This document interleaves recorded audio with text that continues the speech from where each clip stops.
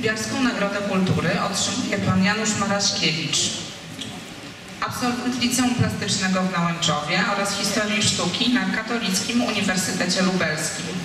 Od lat kierujący Biarską Delegaturą Wojewódzkiego Urzędu Ochrony Zabytków w Lublinie. To także popularyzator wiedzy o zabytkach regionu, autor i współautor wielu opracowań książkowych. Jego teksty i fotografie znajdują się w wielu informatorach turystycznych z naszego regionu, na łamach Podlaskiego Kwartalnika Kulturalnego czy w wiadomościach konserwatorskich województwa lubelskiego. Poza publikacjami pan Janusz Maraszkiewicz posiada niezwykłe umiejętności dzielenia się swoją ogromną wiedzą, dlatego tak często przekazuje Bielczanom ciekawe informacje na temat zabytków Białej Podlaskiej i regionu. Szeroka działalność pana Janusza Maraszkiewicza często powiązana jest z bielskimi instytucjami kultury, to jest Muzeum Południowego Podlasia, Miejską Biblioteką Publiczną oraz Bialskim Centrum Kultury imienia Bogusława Kaczyńskiego w Białej Podlaskiej, które w każdym momencie mogą liczyć na pomoc merytoryczną oraz wsparcie we wdrażaniu, monitorowaniu efektów oraz w ostatecznej realizacji prowadzonych działań konserwatorskich.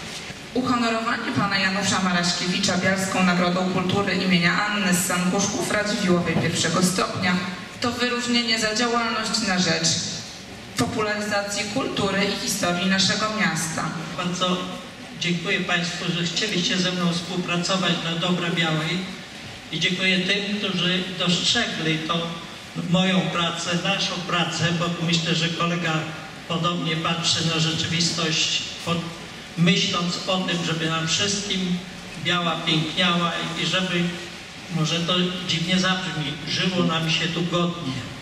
Dziękuję Państwu bardzo, dziękuję Panie Prezydencie. Zadowolony z całości przebiegu swoich prac. Tak jak Pan wspomniał w swoim przemówieniu, tutaj wszystko po to, aby Biała Podlaska i region był, były piękniejsze.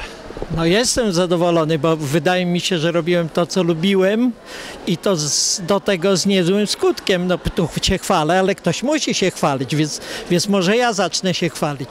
Myślę, że, że to, ta praca to, to jest niebywała rzecz. To jest przyjemność i efekt zarazem. Miły efekt, bo on służy ludziom, służy nam wszystkim i daje takie poczucie spełnienia. Sztuka, historyk sztuki, kreacja, tworzenie, to wszystko w moim życiu zawodowym było w jednym. Pasja, prywatne zainteresowania, wszystko razem. No lepiej być nie może. Dzisiaj na koncercie e, operetkowym i festiwal imienia Bogusława Kaczyńskiego. No i jak oceniam? Oklaskiwałem, śpiewałem wspólnie z publicznością? No ja, ja oczywiście jestem e, człowiekiem bardzo emocjonalnym, dlatego takie rzeczy mi się bardzo podobają. Wchodzę w to. To, to nie siedzę jak, przepraszam, przysłowiowy kołek, tylko słucham i uchem, i sercem. Także że bardzo mi się to podobało i cieszę się, że w Białej powstają takie rzeczy, bo to trzeba pamiętać, że sztuka e, powinna być ona ściągana przez duże S. To, to, to, to jest bardzo ważne, bo my się uczymy, uczymy odczuwać tak naprawdę to, co jest głębokie i co jest pełne, a nie a taką zwykłą amatorszczyzną. To, to jest dla zawodowców w każdej dziedzinie bardzo ważne, żeby, żeby wysokiej klasy specjaliści się pojawiali wszędzie. Wszędzie. I jeszcze na koniec zapytam, taka ciekawostka. Mnie bardzo często to nurtowało. Panie Januszu, przecież jako konserwator zabytków e, nadzorujący prace architektoniczne, zabytkowe, wykopaliskowe, odkopywał Pan nieraz e, artefakty, mury, fundamenty, domy, pamiątki z wieków ogromnie do tyłu. E, czy ktoś o nas będzie za 300, 400, 500, 600 lat pamiętał?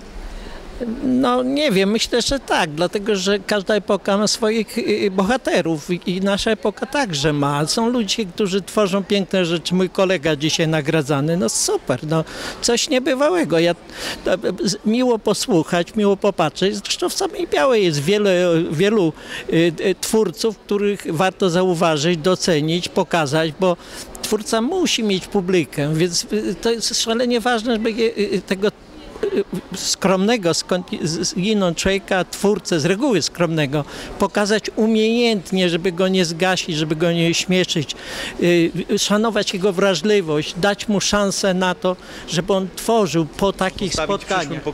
I to zostanie właśnie przyszłym pokoleniom. bo to sztuka zawsze zostaje, w takiej czy innej formie zostaje.